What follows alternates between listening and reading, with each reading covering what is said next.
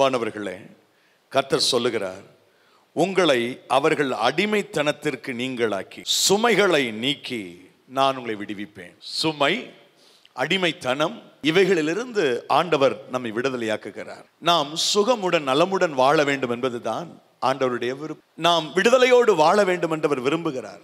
எபிரேய மக்கள் எகிப்து தேசத்திலே ஏறத்தாழ நானூறு ஆண்டுகள் அவர்கள் நுகத்தடியை சுமந்தார்கள். எப்படி ஒரு மாடு இரண்டு மாடு நுகத்தடியை சுமந்து அது இழுத்து கொண்டே போகிறதோ பாரத்தை சுமந்து கொண்டே போகிறதோ அதை போல அந்த மக்கள் இந்த மாடுகள் மிக கடினமாக சில இடங்களில் பாருங்க அந்த மாட்டினுடைய தோள்பட்டை பார்த்தா அப்படி புண்ணாக இருக்கும். அந்த புண்ணோட புண்ணாக இழுக்கும். அந்த நுகம் தடி அழுத்தி நிறைய மாடுகளுடைய அந்த இந்த கழுத்து பகுதி அப்படியே கருத்து போயிருக்கும் காய்ச்சி போயிருக்கும். இழுத்து இழுத்து இழுத்து. மாடு எப்படி சுமை இழுத்து கொண்டே இருக்கிறது அதுபோல நம்முடைய வாழ்க்கையில பாரங்கள் பிரச்சனைகள் போராட்டங்கள் எப்பயா அது முடியும்? இந்த பிரச்சனை எப்போ முடியும்? இந்த கஷ்டம் எப்போ தொலையும்னு சொல்லி ஒவ்வொரு நாளும் ஒரு மாட்டை போல நுகத்தை சுமக்கின்ற அடிமை வாழ்க்கை வாழ்கின்ற ஒரு நிலையிலே நாம் இருந்தால் நமக்கு தான் இந்த வார்த்தை. அன்பானவர்களே ஒரு வருடம் இரண்டு வருடம் அல்ல நானூறு ஆண்டுகள் மக்கள் அப்படி கஷ்டப்பட்டார்கள். நுகத்தை சுமந்தார்கள். அடிமைத்தனத்திற்குள்ளாக பிசாசு அவர்களை வைத்திருந்தான். பாரோ மன்னன் அவர்களை வைத்திருந்தான். பாரோ மன்னன் அடிமைத்தனத்துக்குள்ளே ஜனங்களை வைத்திருந்தது போலத்தான் இப்பொழுது பிசாசம் வைக்கின்றான். அநேகருடைய வாழ்க்கை ஒரு சகோதரனை நான் அறிவேன். எப்பொழுதும் பாருங்கள் அவருக்கு தூக்கம் சர்வசாரமாக வந்துடும் அநேகர் தூக்கம் இல்லாமல் தூக்க மாத்திரை போடுறாங்க. ஆனால் அந்த சகோதரன் நினைச்சா தூங்கிடுவாங்க அவருக்கு இந்த தூக்கத்தினால நிறைய இழப்புகள். வேலை செய்ய முடியாது. கொஞ்சம் முழிச்சிருந்து ஏதாவது பண்ணலான்னா அவருக்கு அந்த கணனித்திரை ஆவி. பைபிள் இருக்குது கணனித்திரையின் ஆவி. தூக்கம் வந்துடும் வேலை செய்ய முடியாது. வேலை செய்யணுன்ற உற்சாகம் இருந்தாலும் வேலை செய்ய முடியாது. ஒரு முறை அவர் என்னிடத்தில் இதை சொன்னார் பிரதர் எனக்காக என் வேண்டிக்குவீங்களா? எனக்கு இந்த தூக்கத்தை கண்ட்ரோல் பண்ணவே முடியல.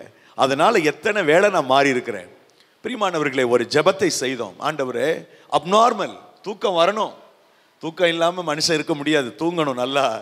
ஆனால் அந்த தூக்கத்துக்கு ஒரு நியாயமான நேரம் இருக்கணும் இல்லை ரெண்டு மணி நேரம் மூணு மணி நேரம். மத்தரம் தான் முழிச்சிருக்கிறான் மீதி நேரம் தூங்குறான்னா அது அப்நார்மல் இல்லை.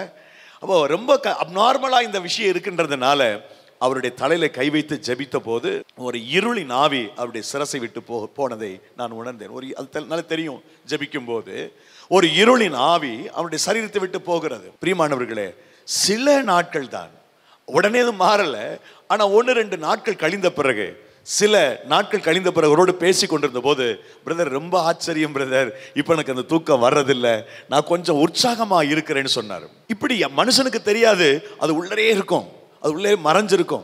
ஒரு அருமையான சகோதரிக்கு அவருடைய பிர- பிசாசனுடைய பிரச்சனைக்காக ஜெபித்து கொண்டிருந்த போது அது எத்தனையோ ஆண்டுகள் நான் நினைக்கிறேன் முப்பது வருஷத்துக்கு மேலே நான் இந்த பெண்ணுக்குள் இருக்கிறேன். பிச்சை எடுக்கிற நிலைமைக்கு நான் தான் கொண்டு வந்தேன்னு அந்த ஸ்பிரிட் பேசுது. இந்த நிலைக்கு கொண்டு வந்து நான் தான். உடைய குடும்பத்தில் நல்ல வருவாய் செழிப்பு. ஆனால் வீதிக்கு நான் கொண்டு வந்திருக்கிறேன். எனக்கு ஞாபகம் இருக்கிறது அந்த சகோதரிக்கு விடுதலை கிடைத்த பிறகு நானே அவர்கள் ஆசீர்வாதமாக இருக்கிறதை பார்த்து ஆச்சரியப்பட்டிருக்கிறேன். பிரைஸ் ஆமாம் இப்போ முன்ன மாதிரி இல்லை. கைகளிலே பணம் தங்குகிறது. நிறைய பேர் கிராமங்களிலே நாங்கள் போகிற போதெல்லாம் அது போல நாங்கள் பார்க்கிறோம். ஒரு இந்த மக்களை பாருங்கள் எபிரைய மக்களை ஏறத்தாழ நானூறு ஆண்டுகள் அடிமைத்தனம் அடிமைத்தனம் என்று சொன்னால் நீங்கள் முதலாம் அதிகாரம் பதினோரு வசனத்தை பாருங்கள். Exodus chapter first chapter verse number 11 வாசிக்க கேட்போம். சுமை சுமக்கிற வேலையினால் அடிமைத்தனம் சுமை சு- சுமத்தல் என்றால் ஒடுக்குவது. பாருங்கள் நாம் கடினமாக வேலை செய்வோம் கடினமாக பிரயாசப்படுவோம் கடின உழைப்பை வெளிப்படுத்துவோம் ஆனால் பிசாசனமை ஒடுக்குவான் விருத்தி அடைய விட மாட்டான் விருத்தி அடைகிறதுக்கு விட மாட்டான். அடுத்த கட்டத்துக்கு நம்மளால் போக முடியாது. அடுத்த லெவலுக்கு நம்மால் போக முடியாது. அவன் ஒடுக்குவான். நுகம் என்பது ஒடுக்கும். பிசாசு கொண்டு வருகிற நுகம் அதை நம்மை ஒடுக்கும். அந்த அடிமைத்தனம் நம்ம நம்முடைய வாழ்க்கையில மிகப்பெரிய சிறுமைப்படுத்தலை கொடுக்கும். வாசியுங்கள் உபாகம புத்தகம் இருபத்தி ஆறாவது அதிகாரம் ஆறாவது வசனம். உபாகமம் இருபத்தி ஆறு ஆறு.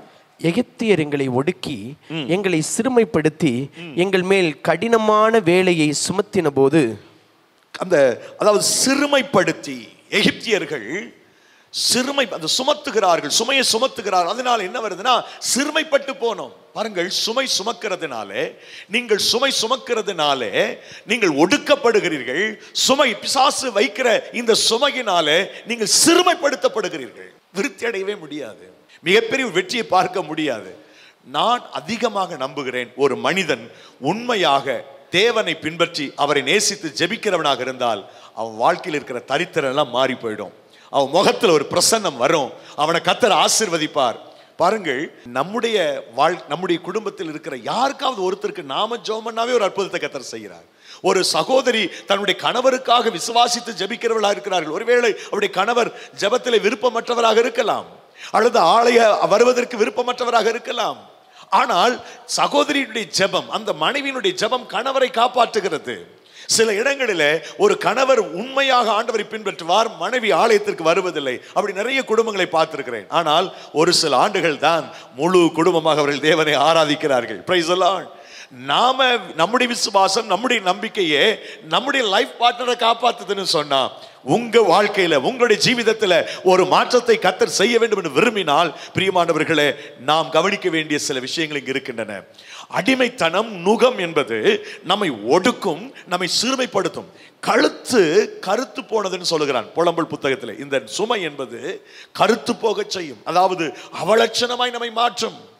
அழகு போய்விடும். சமூகத்தில் அழகாய் இருக்க வேண்டிய நாம் அழகற்றவர்களாய் மாறுவோம். புலம்பல் புஸ்தகம் ஐந்தாவது அதிகாரம் ஐந்தாவது வசனத்தை வாசிக்க கேட்போம். புலம்பல் ஐந்து ஐந்து. பாரம் சுமந்து எங்கள் கழுத்து நோகிறது. நாங்கள் உழைக்கிறோம் எங்களுக்கு இலைப்பாறுதல் பாரம் சுமந்து எங்கள் கழுத்து நோகிறது. பாரம் சுமந்து நாங்கள் நோகிறோம். அதாவது வேதனைப்படுகிறோம். கருத்து போகிறது மாத்திரமல்ல. நாங்கள் வேதனைப்படுகிறோம். பாரம் சுமந்து எங்கள் கழுத்து நோகிறது. தாங்க முடியல. இது எத்தனை நாளைக்கு இந்த பிரச்சனை இருக்கும்? எப்பந்தான் இந்த ப்ராப்ளம் முடியும்? எப்பந்தான் ஒரு முடிவுக்கு என்னுடைய வாழ்க்கையில் இந்த பிரச்சனைகள் முடிவுக்கு வரும் என்று நான் சோர்ந்து போகிறேன். இந்த சுமை என்பது அடிமைத்தனம் என்பது அன்பிற்குரியவர்களே நம்மை நோக பண்ணும். சுமை அடிமைத்தனம் என்பது உங்களை ஒடுக்குகிறது உங்களை சிறுமைப்படுத்துகிறது உங்களை நோகச் செய்கிறது. ஆண்டவர் இந்த அடிமைத்தனத்திலிருந்து நம்மை விடுவிக்க வேண்டும். விடுவிக்க ஆண்டவர் அவர் ஆவலாக இருக்கின்றார். அல லூயா நான் அடிக்கடி யோசித்து பார்ப்பேன். இந்த இயேசு கிறிஸ்துவை மாத்திரம் நான் அறிந்து கொள்ளாமல் போயிருந்தால் என் வாழ்க்கை பாதியிலே முடிந்து போயிருக்கும். அல்லாவிட்டால் நான் அவலட்சணமானவனாக இந்த பூமியிலே வாழ்ந்திருக்கக்கூடும். அல்லாவிட்டால் ஆசீர்வாதமற்றவனாக ஒரு தரித்திரனாக எங்கோ ஒரு மூலையில நான் வாழ்ந்து கொண்டிருப்பேன். நான் நினைக்கிறேன் ஒவ்வொரு தருணத்தில் நினைக்கிறேன் இயேசுவே என்னை தேடி வந்தீரே என் வாழ்க்கையை தொட்டீரே என்று. அடிக்கடி நான் பிரசங்கத்திலே சொல்வதற்கு அடிக்கடி சொல்வதை குறித்து நீங்கள் தவறாக யோசித்து விட வேண்டாம். நான் நன்றி பெருக்கினதை சொல்கிறேன் என் ஆண்டவர் இயேசு கிறிஸ்தினை தேடி வராவிட்டால் என் வாழ்க்கை பரிதாபமாக போயிருக்கும். நான் நம்புகிறேன் ஒரு மனிதன் உண்மையாக இந்த தெய்வத்தை நம்பி அவர் காட்டுகிற வழியிலே ஓரளவாவது அவன் நடைபோட துவங்கினால் நுகத்தை கத்தர் முறிப்பார் அடிமைத்தனத்தை முறிப்பார் அவனுடைய வாழ்க்கை கத்தர் மாற்றுவார். ஹாலலூயா கத்தர் செய்வார். இருளில் இருக்கிற ஜனங்களுக்கு ஆண்டவர் வெளிச்சத்தை கொடுக்கும்படி தான் இந்த உலகத்தில் வந்தார். உலகத்தில் வந்த எந்த மனுஷனையும் பிரகாசிப்பிக்கிற ஒளிதான் அந்த மெய்யான ஒளி என்று வேதம் சொல்லுகிறது. என கண்பானவர்களை நேரலையில் அநேகர் பார்த்து கொண்டிருக்கிறீர்கள். ஒருவேளை இந்த நேரத்தில் நீங்கள் அடிமைத்தனத்திற்குள் இருக்கலாம் நுகத்தை சுமந்து கொண்டிருக்கலாம் உங்கள் கழுத்து நோகலாம் சிறுமைப்பட்டு கொண்டிருக்கலாம் ஒடுக்கப்பட்டு கொண்டிருக்கலாம் உங்கள் வாழ்க்கையில ஒரு மிகப்பெரிய விடுதலை தருவதாக கத்தர் வாக்கு பண்ணுகிறார். யாத்திரையாகமும் ஆறு ஆறு ஏழு வசனங்களை ஞாபகத்தில் வைத்துக் கொள்ளுங்கள். உங்கள் சுமைகளை நீக்கி உங்களை விடுவித்து அடிமைத்திலிருந்து நீக்கி உங்களுக்கு அவர் தேவனாக இருப்பார். நீங்கள் அவருடைய பிள்ளைகளாக இருப்பீர்கள். அலலூயா அலலூயா பட்சப பட்சபாதம் இல்லாத தேவன் நம்முடைய வாழ்க்கையை ஆசீர்வதிப்பதற்கு உண்மையில் அவராக இருக்கிறார். ஒவ்வொருத்தருடைய வாழ்க்கையிலையும் அவர் கரிசனையிலவராக இருக்கிறார். உங்களுடைய உறவினர்கள் உங்களுடைய சொந்தக்காரர்களுடைய கணவரோ மனைவியோ அல்லது பெற்றவர்களோ அல்லது புகுந்த வீட்டில் இருக்கக்கூடிய உங்களுடைய மாமனாரோ மாமியாரோ உங்க மேல காட்டுகிற பரிவு அன்பு பாசத்தை விட அவர் கோடி மடங்கு நம்ம கரிசனை இருக்கிறார் என்பதை மறந்து விடாதிருங்கள். அவர் காட்டுகிற பாதைகளை நாம் பிரயாணப்படும் பொழுது அவர் நம்மை ஆசிர்வதிக்க அவர் நம்மை விடுவிக்க நம்மை உயர்த்த எப்போதும் அவர் ஆவலாக இருக்கிறார். எப்போதும் அவர் ஆவலாக இருக்கிறார். உங்க மேல அவர் அவர் பற்றுதலாக இருக்கிறார். உங்க மேல அவர் பிரியமுள்ளவராக இருக்கிறார். நாம செய்ய வேண்டிய காரியங்கள் சில உண்டு. ஒரு ஐந்து காரியங்களை மடமடவென்று வேகமாய் சொல்ல விரும்புகிறேன். அ- அடிமைத்தனம் என்கிற விஷயம் இந்த சுமை என்கிற விஷயம் என்னை ஒடுக்குகிறது. என்னை ஒடுக்குகிறது. காலம் ஓடிடுச்சு வேகமா திருமணமாகி பத்து வருஷங்கள் பதினஞ்சு வருஷங்கள் என் வாழ்க்கை அப்படியே இருக்கிறது. என்னுடைய இயேசு கிறிஸ்துவை ஏற்றுக்கொண்டு சில ஆண்டுகள் ஆனால் என்னுடைய வாழ்க்கையில் மாற்றம் இல்லை என்று நீங்கள் சொல்லலாம். தேவன் ஒரு நாளும் மாற மாற மாட்டார் அவர் மாறாத தேவன். நான் கத்தர் நான் மாறுவதில்லை என்று கத்தர் சொல்லுகிறார். I am the Lord I change not நான் கத்தர் நான் மாறுவதில்லை. அன்சென்சபிள் அவருடைய செயல்பாட்டில் அவர் மாறாதவராக இருக்கின்றார். அவர் அற்புதம் செய்ய முடியும். இப்போ கோளாறு நம்முடைய லைஃப்பில் தான். முடிந்தவரை நீங்கள் தேவனுடைய வார்த்தைகளுக்கு கீழ்ப்படிந்து நடக்கின்ற போது உங்க வாழ்க்கையில் இருக்கிற சுமையை கத்த நீக்கி அடிமை திறந்து விடுவித்து உங்களை அவருடைய மக்களாக அவர் மாற்றுவார். அவர் உங்களுடைய தேவனாக இருப்பார். பிரைஸ் லார்ட் அல்லேலூயா முதலாவது முதலாவது நமக்கே தெரியும் நம்ம நம்முடைய ஸ்பிரிட்லே தெரியும். நாம் சிக்கி இருக்கிறோம் பிசாசு நம்மளை கட்டி வச்சிருக்கிறான். பாண்டேஜ் ஒன்று இருக்குது. நம்ம விடுதலை பெறணும். நமக்கு ஒரு டெலிவரன்ஸ் வேணும். நமக்கு ஒரு விடுதலை வேணும்னு நீங்க நினைக்கிறீங்க இல்லையா? நீங்க செய்ய வேண்டிய முதல் விஷயம் ஆண்டருடைய சமூகத்திலே முழங்கால் படிக்கிட்டு பெருமூச்சோடு அவரை நோக்கி பாருங்கள். அவரை நோக்கி கூப்பிடுங்கள். அவர் மாத்திரம்தான் நம்மை விடுதலையாக்க முடியும். ஹி கேன் டெலிவர் அஸ் அவர் அவரால் நம்மை விடுதலையாக்க முடியும். அவரால் நமக்கு சு- விடுதலை சுகத்தை கொடுக்க முடியும். ஆரோக்கியத்தை கொடுக்க முடியும். தரித்திரமான வாழ்க்கையை அவர் மாற்ற முடியும். என் அன்பு தேவ பிள்ளைகளே முதலாவது நாம் செய்ய வேண்டிய விஷயம் பெருமூச்சு விடுவது. இந்த ஜனங்கள் அதைத்தான் செய்தார்கள். இந்த ஒடுக்க பார்வோன் ராஜா ஒடுக்கின போது பார்வோன் ராஜ்- ராஜாவின் நிமித்தமாக அவர்கள் சிறுமைப்படுத்தப்பட்ட போது வேதனைப்படுத்தப்பட்ட போது அவர்கள் நொந்து வேதனையோடு வாழ்கிற போது அவள் செய்த முதல் விஷயம் நமக்கு விடுதலை வேணும்னா தேவாதி தேவனை நோக்கி பார்க்கணும். பெருமூச்சு விட்டார்கள். கூக்கரலிட்டார்கள். யாத்திரையாக புஸ்தகம் இரண்டாவது அதிகாரம் இருபத்தி மூன்றாவது வாக்கு இப்படி சொல்லுகிறது. யாத்திராகமம் ரெண்டு இருபத்தி மூணு. சில காலம் சென்ற பின் எகிப்தின் ராஜா மரித்தான். இஸ்ரவேல் புத்திரர் அடிமைத்தனத்தினால் தவித்து முறையிட்டுக் கொண்டிருந்தார்கள். அவர்கள் அடிமைத்தனத்திலிருந்து முறையிடும் சத்தம் தேவ சந்நிதியில் எட்டினது. முறையிட்டார்கள். எங்களுக்கு யார் இருக்கிறா? நாங்க நானூறு வருஷம் அடிமையா வாழ்றோமே.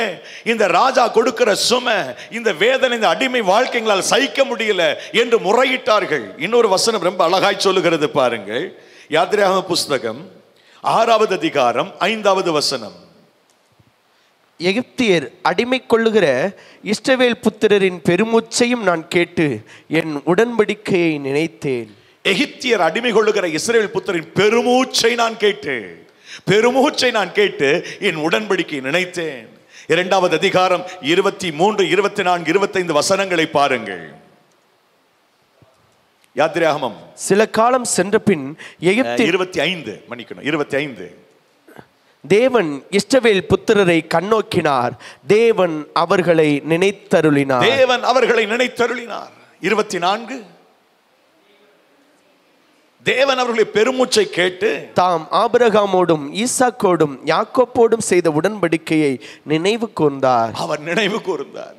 பெருமூச்சை கேட்டார். என் அன்பு தேவனுடைய பிள்ளைகளே யாரும் உங்களுடைய அந்த முறையிடுதலை கவனிக்காம இருக்கலாம் நியாயம் செய்யாமல் இருக்கலாம் நீதி செய்யாமல் இருக்கலாம். ஆனால் நியாயாதிபதி ஒருவர் இருக்கிறார். அவர் உங்களுடைய பெருமூச்சை அறிந்திருக்கிறார்.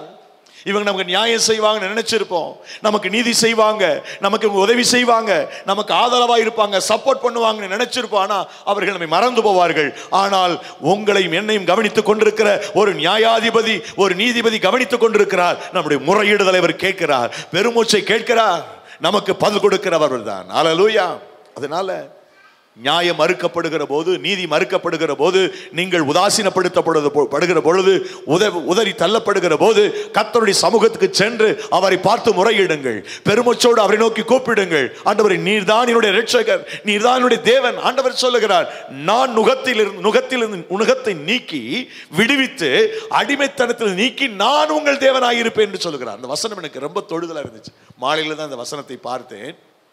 மோஸ்ட்லி இந்த கட்டவிழுக்கு ஜெபத்திற்கு நான் ஒரு பெரிய ஒரு பிரசங்கம் பண்ண நினைக்கிறது இல்லை. காஸ்பல் மெசேஜ் அவங்க நம்பிக்கை ஏற்படுத்த வேண்டும். கத்தருடைய வார்த்தையை சொல்லி அந்த வார்த்தையின் நம்பிக்கை வைத்து நீங்கள் விடுவிக்கப்பட வேண்டும் நன்மை செய்ய வேண்டும் என்ற விஷயத்தை கத்தர் என் மனசில் பாரத்தை கொடுத்ததுனால இது போன்ற வசனத்தை தான் இந்த கட்டவிழுக்கு ஜபத்தில் நான் எடுக்கின்றேன்.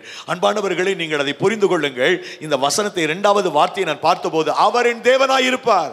நான் உன் விடு விடுவிக்கிறது மாத்திரமல்ல. உன் உன்னுடைய அடிமைத்தளத்தை நுகத்தை நான் நான் முறிக்கிறது மாத்திரமல்ல அதை நீக்குகிறது மாத்திரமல்ல. நான் உன்னுடைய தேவனாய் இருப்பேன் என்று சொல்லுகிறார். என்னுடைய கடவுளாய் இருப்பார். தேவன் எனக்கு போதுமானவராக இருப்பார். ஆகவே முதலாவது நீங்கள் கத்தருடைய சமூகத்தில் பெருமூச்சு விடுங்கள். இரண்டாவது இரண்டாவது இந்த அடிமைத்தனத்திலிருந்து நாம் நிரந்தரமாக விடுவிக்கப்படுவதற்கு இயேசு கிறிஸ்துவின் இரத்தத்தினாலே நான் ஆதாயப்படுத்தப்பட வேண்டும். அல்லது இயேசு கிறிஸ்துவின் ரத்தத்தின் பாதுகாப்பிற்குள் வந்துவிட வேண்டும். இயேசு கிறிஸ்துவின் ரத்தம் உங்கள் மேல் பூசப்படுகிற போது இயேசு கிறிஸ்துவின் ரத்தம் உங்களுக்காக கிரயம் செலுத்தப்படுகிற போது இனிமே நீங்கள் பாரோ மன்னனுக்கு அடிமைகள் அல்ல. இனிமேல் சத்துருவுக்கு நீங்கள் சொந்தம் அல்ல. ஏனென்றால் எனக்காக அதை நீங்கள் நம்புங்கள். எனக்காக இயேசு கிறிஸ்துவின் ரத்தம் சிந்தப்பட்டிருக்கிறது. எனக்காக நேசர் இயேசுவினுடைய ரத்தம் சிந்தப்பட்டிருக்கிறது. ஆகவே நான் இனி இந்த பிசாசுக்கு அடிமையானவன் அல்ல. இதைத்தான் ஒன்று கொரிந்தியர் புஸ்தகம் ஏழாவது அதிகாரம் இருபத்தி மூன்றாவது வசனம் சொல்லுகிறது. கரையத்துக்கு கொல்லப்பட்டீர்களே. ஆகையால் மனுஷருக்கு அடிமைகளாகாதிருங்கள். ஏழு இருபத்தி ஆறு அது வேற வசனம் இது வேற வசனம். ஏழு இருபத்தி மூணு. நீங்கள் கிரயத்துக்கு கொல்லப்பட்டீர்கள். மனுஷருக்கு அடிமைகளாகாதிருங்கள். மனுஷருக்கு அடிமைகள் உலகத்துக்கும் மனுஷனுக்கும் மற்ற காரியத்துக்கும் அடிமைகளாகாது. ஏனென்றால் ஆண்டவர் உங்களுக்கு கிரயத்துக்கு கொண்டிருக்கிறார். விலையேறப்பட்ட தம்முடைய ரத்தத்தை கிரயமாய் கொடுத்து அவர் உங்களை விலை கொடுத்து வாங்கியிருக்கிறார். இதை நீங்கள் நம்பும் போது நீங்கள் அடிமைகள் அல்ல. நான் இந்த பிசாசுக்கு அடிமையானவன் அல்ல. உலகத்துக்கு அடிமையானவன் அல்ல நான் ஆண்டவருக்குரியவன். ஹலலூயா பிசாசினை தொட முடியாது. தரித்திரத்தினாலே பிசாசினை தொட முடியாது. நான் ஆண்டவருக்குரியவன் ஆண்டவருடைய பிள்ளை அவருக்கு சொந்தமானவன். நான் அதை நம்புறேன். இயேசு கிறிஸ்துடைய ரத்தம் என் மேல் தெளிக்கப்பட்டிருக்கிறது. இயேசு கிறிஸ்து ரத்தத்தினாலே என்னை கிரயம் கொடுத்து வாங்கி இருக்கிறார் நான் அவருக்கு சொந்தமானவன். அவருக்கு சொந்தமான எனக்கு பிசாசு ஒரு நாளும் தீங்கு செய்ய முடியாது. அலலூயா நான் இந்த விடு விடுதலை ஊழியத்தை கடந்த முப்பத்தி நான்கு ஆண்டுகளாக செய்து வருகிறேன். பிசாசு விரட்டுகிற ஊழியத்தை அல்லது எல்லாருமே பிசாசு விரட்டலாம். விசுவாசிக்கிற அத்தனை பேருக்கு அந்த அதிகாரத்தை கத்தர் கொடுத்திருக்கிறார். ஆனால் எனக்கு பிசாசு விரட்டி வி- பிசாசு விரட்டலைன்னா ஊழி செஞ்ச மாதிரி இருக்காது பிரைஸ் எல்லாம் ஆமா. பில்லி சுனி கட்டில் இருக்கிறவங்களுக்காக ஜெபிக்கலைன்னா என்னடா இவ்வளவு நாள் ரொம்ப லாங் கேப்பாக இருக்க? நம்ம பேஷண்ட் ஒன்றும் வரலையே அப்படின்னு நினைப்பேன். ஏனென்றால் அது ஊழியத்தில் அந்த ஜனங்களை மீட்கிற ஊழியத்தில் மிக முக்கியமான ஒரு ஊழியம். முப்பத்தி நான்கு வருஷமாக நான் அதை செய்து வருகிறேன். பிசாசு பிடித்தவர்களை சந்திக்கிற போதெல்லாம் என் மனசுல முதல்ல ஒரு உணர்வு நான் தேவனுடைய சொந்தமானவன். அலலூயா அவர் என்னை கரையம் கொடுத்து வாங்கியிருக்கிறார். பிசாசு எனக்கு விரோதமாய் தீங்கு செய்ய முடியாது. பிசாசு என்னை மேற்கொள்ள முடியாது. அப்படி அந்த அந்த பாதுகாப்பு எனக்கு இல்லைன்னா பிசாசு அம்மியில வச்சு அரைக்கிற மாதிரி நம்மளை அரைச்சிருப்பான். எத்தனை பேர் எத்தனை பிசாசு பிடிச்சவர்களை சந்திக்கின்றோம். எத்தனை பில்லி சுனித்தனால் பாதிக்கப்பட்ட மக்களை நாங்கள் பார்க்கிறோம். அன்பானவர்களே அந்த நம்பிக்கை தான் ஆண்டவர் என்னை கரையம் கொடுத்து வாங்கி இருக்கிறார் ஆகவே நான் பிசாசுக்கு சொந்தமானவன் அல்ல நான் தேவனுக்குரியவன். நான் ஒரு நாளும் அந்த அடிமைத்தன வாழ்க்கைக்குரியவனாக ஆக போகிறதில்லை. நான் ஆண்டவருக்கு சொந்தமானவன். அந்த விசுவாசம் நமக்கு இரண்டாவது வரணும். மூன்றாவது தேவனுடைய சத்தம் நமக்கு கேட்கும்போது ஆலய ஆராதனைக்கு ஏன் வரணும்? ஞாயிற்றுக்கிழமை தோறும் கத்தருடைய ஆலயத்திற்கு நம்ம ஏன் போகணும்? செய்தியை ஏன் கேட்கணும்? நீங்கள் வேதத்தை தொடர்ந்து வாசிக்கணும்னு கேட்டால் கத்தர் இந்த வேதத்தின் ஊடாக God speaking through his scripture and God's message கர்த்தனுடைய ஊழியக்காரர்கள் பிரசங்கிக்கின்ற போது அவர்கள் தேவனுடைய செய்தியை பகிர்ந்து கொடுக்கின்ற போது அவர் இன்றைக்கு பேசிக்கொண்டிருக்கின்றார் வேத வசனத்தை நீங்கள் வாசிக்கிற போதெல்லாம் அவர் உங்களோடு பேசுகிறார் அவர் உங்களோடு இடைப்படுகிறார். அப்படி இவர் பேசும்போது அவருக்கு நீங்கள் கீழ்ப்படுகிற அந்த தருணம் அவருக்கு கீழ்ப்படிய துவங்கும் பொழுது பிசாசு உங்களை அடிமை கொள்ள முடியாது. நீங்கள் சுமை சுமக்க மாட்டீர்கள். இதை ரோமர் புஸ்தகத்தில் வாசிக்கிறோம். ரோமர் புத்தகம் ஆறாவது அதிகாரம் பதினேழாவது வசனம் சொல்லுகிறது பாருங்கள். ரோமர் ஆறு பதினேழு. முன்னே நீங்கள் பாவத்திற்கு அடிமைகளாயிருந்தும் இப்பொழுதும் உங்களுக்கு ஒப்புவிக்கப்பட்ட உபதேச சட்டத்திற்கு நீங்கள் மனப்பூர்வமாய் கீழ்ப்படிந்ததினாலே தேவனுக்கு நீங்கள் முன்னாடி அடிமைகளாய் இருந்தீர்கள் இப்போ அடிமைகள் இல்லை. காரணம் என்னவென்றால் தேவனுடைய அந்த சட்டத்திற்கு கிருபையின் பிரமாணத்திற்கு நீங்கள் கீழ்ப்படுகிறீர்கள். ஆண்டவரை நான் உம்மை நம்புகிறேன். உம்மை சேவிக்க என்னை அர்ப்பணிக்கிறேன் என்று அவருடைய சத்தத்திற்கும் அவருடைய சித்தத்திற்கும் நீங்கள் கீழ்ப்படுகிறதுனாலே இனிமேல் நீங்கள் அடிமைகள் அல்ல. பிரைஸ் அல்லாட் இனிமேல் எதுவும் உங்களை அடிமைப்படுத்தாது. அந்த ஒரு நம்பிக்கை வரணும். முதலாவது நீங்கள் சத்தமிட்டு பெருமூச்சோடு தேவனை நோக்கி பார்க்கிற போது அந்த அடிமைத்தனத்திலிருந்து ஆண்டவர் உங்களை விடுதலையாக்குகிறார். அதற்கு பிறகு நீங்கள் நான் இயேசுவின் இரத்தத்தினாலே கிரயம் கொள்ளப்பட்டிருக்கிறேன். ஆண்டவர் நீ விலை கொடுத்து வாங்கி இருக்கிறார் என்ற நம்பிக்கையுடனாக இருக்கும்போது அடிமைத்தனம் என்பது உங்களுடைய வாழ்க்கையில் இருக்காது. மூன்றாவது தேவனுடைய சத்தத்திற்கு தேவனுடைய வார்த்தைகளுக்கு நீங்கள் கீழ்ப்படிந்து நடக்கும்போது எனது அன்பு சகோதர சகோதரிகளே நீங்கள் அடிமைகள் அல்ல நுகம் உங்கள் மேல் இருக்காது. நீங்கள் இனி சுமப்பதில்லை சுமை உங்களை அழுத்துவதில்லை நீங்கள் அதை மேற்கொள்வீர்கள். சுமைகளை சுமைகளை மிக எளிதாக கடந்து போவீர்கள். அவைகள் உங்களுடைய வாழ்க்கையில தீங்கு செய்ய முடியாது அவைகள் உங்களை பாதிக்க முடியாது. மூன்றாவது நான்காவது ஆவியானவருடைய பிரசனத்தை ஆவியானுடைய பிரசனத்தை நீங்கள் உணர வேண்டும். பரிசுத்த ஆவியானவர் இன்றைக்கும் ஒரு நல்ல துணையாளராக இருக்கிறார். நீங்கள் ஆவியானவரை அழைக்கின்ற போது அவர் வந்து உங்களை விடுதலையாக்குவார். அப்படித்தான் வசனம் சொல்லு கத்தருடைய ஆவி எங்கே உண்டோ அங்கே விடுதலை. உண்டு. கத்தருடைய ஆவி எங்கே உண்டோ அங்கே விடுதலை. ஒரு வசனத்தை பாருங்கள். ரோமர் புஸ்தகம் எட்டாவது அதிகாரம் பதினைந்தாவது வசனம். அந்தப்படி திரும்பவும் பயப்படுகிறதற்கு நீங்கள் அடிமைத்தனத்தின் ஆவியை பெறாமல் அப்பா பிதாவே என்று கூப்பிட பண்ணுகிற புத்திர சுவிகாரத்தின் ஆவியை பெற்றீர்கள். அப்பா பிதாவே என்று கூப்பிட பண்ணுகிற புத்திர சுவிகாரத்தின். சுவிகாரத்தின் ஆவியை பெற்று- பெற்றிருக்கிறீர்கள். ஹோலி ஸ்பிரிட் பரிசுத்த ஆவியானவர் வரும் பொழுது அந்த அடிமைத்தனத்தில் நம்மை மீட்டுக் கொள்ளுகிறார். கத்தரே ஆவியானவர் கத்தருடைய ஆவி எங்கே உண்டோ ஆவியானவர் வரும்போது அடிமைத்தனத்திலிருந்து முழுவதுமான விடுதலை கிடைத்து விடுகிறது. ஹோலி ஸ்பிரிட் வரும்போது. நீங்கள் விடுதலைக்காக நீங்கள் போராட தேவையில்லை. பரிசுத்தாவின் அசைவாடக்கூடிய இடத்துல வந்து நின்றாவே ஒரு விடுதலை. அதனால தான் விலகினமானவங்க சுகவீனமானவங்க நீங்கள் ரொம்பவும் கஷ்டப்படுத்த வேண்டாம். சும்மா கொஞ்ச நேரம் உட்காருங்கன்னு சொல்கிற காரணம் என்னன்னா ஜெபம் நடக்கிற இடத்துல துதிக்கிற இடத்துல வசனம் விதைக்கப்படுற இடத்துல உக்காந்தாவே அவர்களுக்கு விடுதலை. ஏனென்றால் ஆவியானவர் கிரியை செய்கிறார். இந்த இடத்துக்கு யாரெல்லாம் வர்றாங்களோ அவங்களுக்கெல்லாம் விடுதலை கத்தர் கொடுக்கணும். நம்முடைய ஆலயத்தில் புதிதாக இயேசுவை ஏற்றுக்கொள்ளக்கூடிய ஏற்றுக்கொள்ளக்கூடியவருடைய எண்ணிக்கை அதிகரிக்கணும்னா இது போன்ற ஜெபங்களிலே கத்தர் புதுமைகளை செய்யணும். ஆவியானவர் வந்து விடுதலையாக்கணும். பிரைஸ் அல்லாட் கத்தர் வரும் நாட்களில் இதை செய்வாராக. ஆக ஏன் வர சொல்கிறோம் இந்த ஜெபம் மாதத்திற்கு ஒரு முறை நடக்கிறது. வர முடியாதவர்கள் நிறைய பேர். கிட்டத்தட்ட நான் நினைக்கிறேன் ஒரு ஒரு தொண்ணூறு நூறு பேர் இப்பொழுது நீங்கள் லைவில் பார்த்துட்ருக்கிறீங்க பல பல இருந்து நீங்கள் நீங்க இருக்கிற இடத்துல இருந்து வேண்டுதல் செய்றீங்க. ஆனா நான் உங்களுக்கு சொல்லுகிறேன் my humble request for you ஏதாவது ஒரு சந்தர்ப்பத்தில் நீங்கள் ஆவியானவருடைய பிரசனத்தில் நிரம்பி ஜெபிக்கிற ஆலயங்களுக்கு சென்று ஜபத்தில் அமருங்கள். உபவாச ஜபத்தில் போய் உட்காருங்க. நேரலையில் பார்த்து கொண்டுள்ளக்கு சொல்லுகிறேன். நீங்க ரொம்ப தூரத்தில் இருக்கலாம். இங்கெல்லாம் வர முடியாது. அருகாமையில் இருந்தால் அடுத்த ஜபத்திலிருந்து கலந்து கொள்ளுங்கள். மற்றபடி நீங்கள் இருக்கிற இடத்துல விடுதலைக்காக ஜெபிக்கின்ற பரிசுத்தாவினுடைய நிறைவிலே ஜெபிக்கின்ற அந்த கூட்டங்களிலே போய் பங்கெடுங்கள். ஆண்டவர் உங்களுக்கு ஒரு நல்ல விடுதலை தருவார். தருவார் ஒரு ஜெயத்தை தருவார். இப்பொழுதும் ஆண்டவர் உங்களுடைய இருதயத்தை பார்க்கிறார் உங்களுடைய எண்ணத்தை பார்க்கிறார் உங்களுடைய பிரார்த்தனைக்கு செவி கொடுக்கிறார். ஒருவேளை தாமதமாக இந்த நிகழ்ச்சிகளை சகோதர சகோதரிகள் பார்த்தால் நீங்கள் பரிசுத்த ஆவியனுடைய பிரசனத்திற்காக ஜெபம் பண்ணுங்கள் ஆண்டவருடைய விடுதலைக்காக ஜெபம் பண்ணுங்கள். என்னுடைய வாழ்க்கையில் இதை நான் உணர்ந்திருக்கிறேன். நான் உங்களுக்கு ஏற்கனவே என்னுடைய சாட்சி சொல்லியிருக்கிறேன். என்னுடைய பதினாலு சாரி பதினஞ்சு மற்றும் பதினாறு வயதிலே இந்த ரெண்டு வருடம் தற்கொலையின் ஆவியினாலே மிகவும் பாதிக்கப்பட்டேன். காரணம் என்னுடைய தாய் பதிமூணு வயதிலே மறித்து போனார்கள். பதினாலு வயதிலே என் தந்தையும் மறித்து போனார். ஆகவே தற்கொலை செய்து கொள்ள வேண்டும் என்ற எண்ணம் எனக்கு அதிகம் இருந்தது. விரக்தி அடைந்து மனதில் இந்த பாதிப்பு வந்து செத்துடணும் செத்துடணும் என்ற எண்ணம் இருந்து கொண்டே இருந்தது. ஆனால் ஒரு நாள் பரிசுத்தாவியானவருடைய பிரசன்னம் என் மேல் வந்தபோது நான் தெளிவாய் அதை உணர்ந்து சொல்லுகிறேன் அன்பானவர்களே.